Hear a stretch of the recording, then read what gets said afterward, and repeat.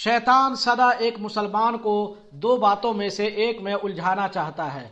या तो वह दिखावे और प्रतिष्ठा के लिए उससे अच्छे कर्म करवाता है, जिसमें वह व्यक्ति अल्लाह ताला के लिए मुखलिस एवं निष्ठावान नहीं होता है।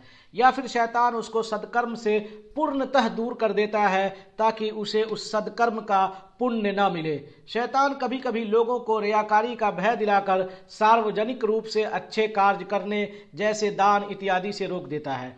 यह शैतान के हथकंडों में से एक बड़ा हथकंडा है, जिससे सावधान रहना प्रत्येक मुसलमान पर वाजिब है। वह मुसलमान जो अपनी नीयत में सच्चा हो, उसे इन शैतानी हथकंडों को महत्व देकर और पाखंड में पड़ जाने के भय से सदकर्म नहीं छोड़ना चाहिए, क्योंकि सच्चा एवं आश्वस्त हृदय व्यक्ति का कोई कार्य गुप्त रूप से हो अथवा सार्वजनिक रूप से करना बराबर है। इसमें कोई संदेह नहीं है कि रियाकारी अर्थात दिखावा करना शिरक है और ऐसा करना जायज़ नहीं है। लेकिन किसी मोमिन पुरुष या मोमिन महिला के लिए यह जायज़ नहीं है कि वह रियाकारी में पड़ने के डर से उस आज्ञाकारिता को छोड़ दे जिसका अल्लाह ने आदेश दिया है। जैसे पवित्र अल्लाह को पुकारना और नेकी का हुक्म देना तथा बुराई से रोकना।